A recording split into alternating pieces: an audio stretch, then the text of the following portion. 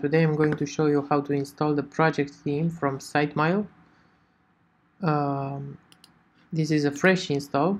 Also I'm going to show you how to import the demo data that we provide with uh, every every purchase of the theme. So the theme I'm talking about is this one, the Freelancer Marketplace. Uh, we want to make it look like the demo website we have here so let's get started. So the first thing you need to do in your uh, in your um, hosting is to install WordPress. Uh, by default WordPress looks like this. Uh, just the default theme or any other theme.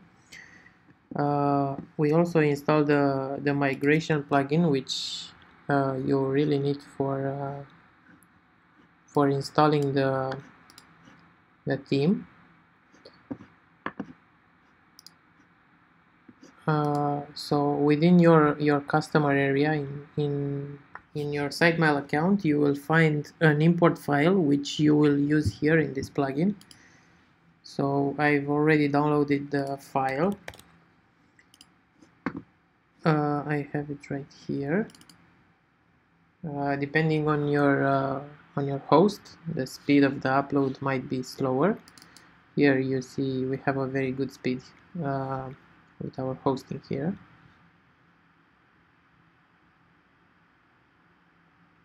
So we just wait for it to upload and then we import.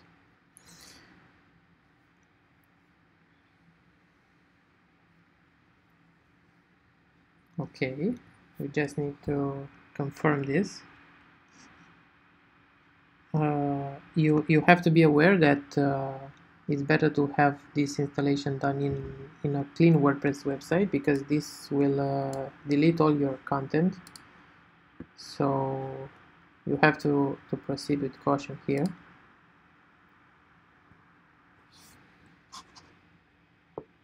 Okay it's installing.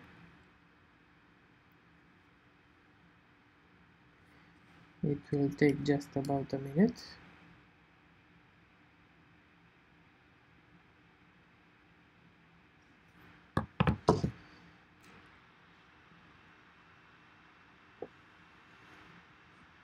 okay so we are done with this. Let's just refresh so it looks better. Okay. Uh, you also notice that we don't have the license key put in the back end. We also need to to to update to the latest version because we already have an update here. So I have the license key saved right here.